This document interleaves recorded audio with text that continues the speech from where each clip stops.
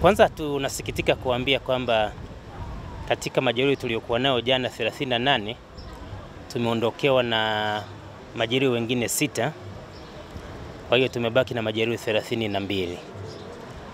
E, tunasikitika kwa hilo, lakini niseme tu katika 32 waliobaki tunaendelea kupambana kuhakikisha kwamba tunaweza kuwarejesha katika hali zao za kawaida, lakini pia katika 32 hao wagonjwa 17 e, wako katika wodi za wagonjwa wanaohitaji uangalizi maalum yani ICU na wagonjwa 15 wako katika jengo la uh, Sewahaji katika wodi yetu namba 22 wakiendelea kupata matibabu.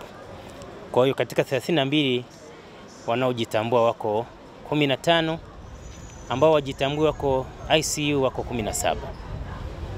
Kubwa zaidi ambalo ningependa kusema ni kwamba timu yetu ya wataalam, madaktari, wauguzi, wafamasia na watoa huduma wote wanaohusika na wagonjwa moja kwa moja wameshikana kuhakikisha kwamba wanaendelea kutoa huduma kwa majeruhi 32 hao waliobaki ili kuhakikisha kwamba wanaweza kurejea katika hali zao za kawaida na waweze kuendelea na shughuli zao za kujenga uchumi binafsi na uchumi wa nchi.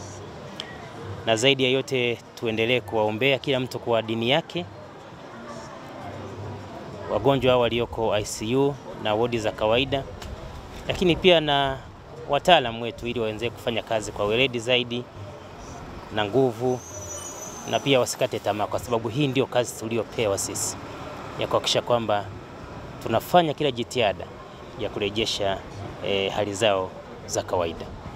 Kwa hiyo niseme tu katika takwimu toka tumepokea majeruhi 46 waliofariki hapa ni 14 na tumebaki na 32. Kwa hiyo ukichukua 32 ukajumlisha 14 unapata 46, lakini ukichukua 46 ukatoa waliofariki 14 tunabaki na majeruhi 32. Hiyo ndiyo takwimu sahihi ya majeruhi tulionao hapa katika hospitali ya taifa Muhimbili. Asanteni sana. Jina lako? Mimi naitwa Aminieri Aligaisha, ni mkuu wa kitengo cha mawasiliano katika hospitali ya taifa Muhimbili.